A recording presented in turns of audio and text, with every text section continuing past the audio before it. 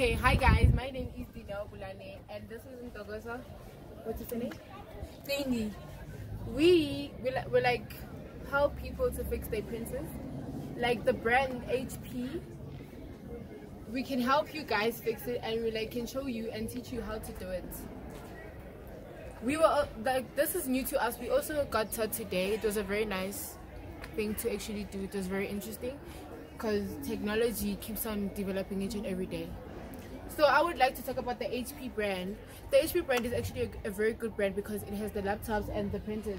And the printers that they, the big printers, the big mother printers, they can help you with faxing things, copying things, photocopying things, and doing a very lot of other things.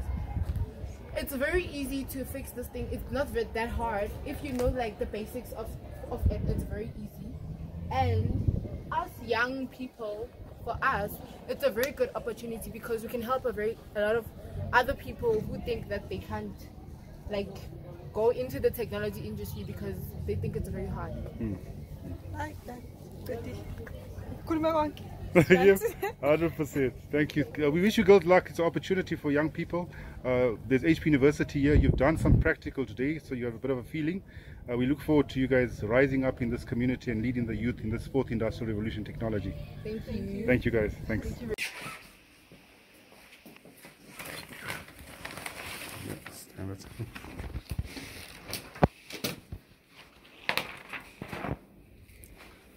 loading it up with paper